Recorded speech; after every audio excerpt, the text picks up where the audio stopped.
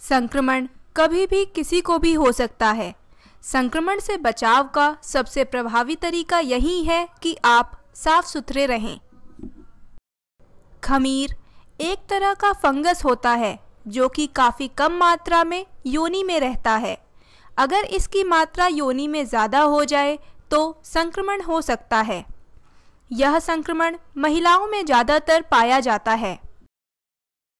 यह कोई गंभीर बीमारी नहीं है, परंतु यह महिलाओं को बहुत परेशान करता है।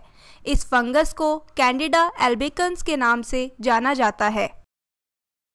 एक स्वस्थ योनि में बैक्टीरिया ज़्यादा होते हैं और खमीर की कोशिकाएँ कम होती हैं। इस बैक्टीरिया को लैक्टोबैसिलस एसिडोफिलस कहते हैं, जो खमीर की मात्रा को कम करता है। खमीर संक्रमण के कई कारण हो सकते हैं। जैसे मधुमेह गर्भावस्था के दौरान एस्ट्रोजन का स्तर, हार्मोन बदलने की पद्धति, कमज़ोर रोग प्रतिरोधक क्षमता और एड्स। खमीर संक्रमण के अलग अलग लक्षण देखे जा सकते हैं, जैसे योनि में खुजली या सूजन, मूत्र विसर्जन या यौन क्रिया के समय दर्द और जलन। गाढ़ा एवं गंध रहित द्रव्य निकलना जो आपके मासिक धर्म के एक हफ़्ते पहले निकल सकता है। पेशाब में जलन। खमीर संक्रमण को ठीक करने के लिए जड़ी बूटियाँ। पहला, गंधक रसायन। गंधक रसायन शुद्ध सल्फ़र से तैयार किया जाता है। गंधक रसायन यूरिनरी ट्रैक्ट इन्फेक्शन को मैनेज करने में मदद करता है। यह रोग प्रतिरोधक क्षमता को बढ़ाने में और दूसरे फंगल इन्फेक्शन को कंट्रोल करने में मदद करता है। दूसरा, निर्गुंडी तेल।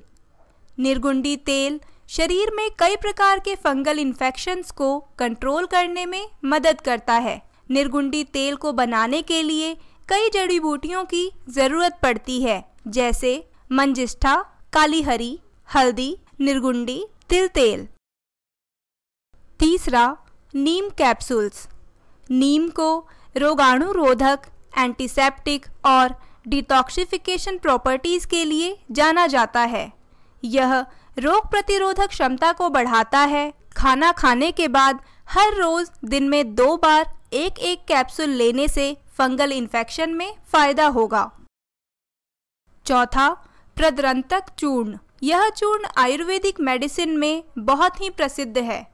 यह वात और पित्त को बैलेंस करने में मदद करता है। प्रतरंतक चूर्ण, यूटेराइन फिब्रॉइड्स, अनियमित मासिक धर्म, बवासीर, दर्द, जलन और अन्य कई महिलाओं संबंधित रोगों के इलाज के लिए बहुत ही लाभदायक है। आशा है आप सबको ये वीडियो पसंद आई होगी। इसे लाइक और शेयर करना ना भूलें। भविष्य में और अधिक जानकारियों के लिए इस चैनल को सब्सक्राइब कर लें। धन्यवाद।